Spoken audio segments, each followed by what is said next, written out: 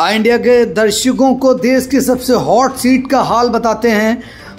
वाराणसी से पीएम मोदी ने लगाई जीत की हैट्रिक इंडिया गठबंधन में कांग्रेस प्रत्याशी अजय राय को एक लाख बावन हज़ार पाँच सौ तेरह मतों से हराया।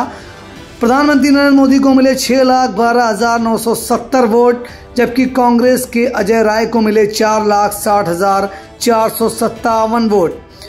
प्रधानमंत्री के खिलाफ बसपा उम्मीदवार अतहर जमाल लारी को तैंतीस हज़ार सात सौ छाछठ वोट मिले हैं। अब तक सबसे न्यूनतम अंतर से हुई मोदी की तीसरी जीत।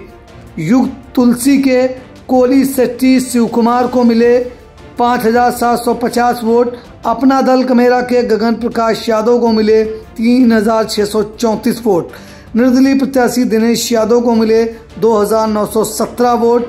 निर्दलीय प्रत्याशी संजय तिवारी को मिले दो हज़ार एक सौ इकहत्तर वोट। 8,478 मतदाताओं ने दबाया नोटा। तो ये प्रधानमंत्री नरेंद्र मोदी की वाराणसी सीट का हाल कि किन प्रत्याशियों को कितने वोट मिले आई इंडिया अपने दर्शकों तक ये महत्वपूर्ण जानकारी पहुँचा रहा है।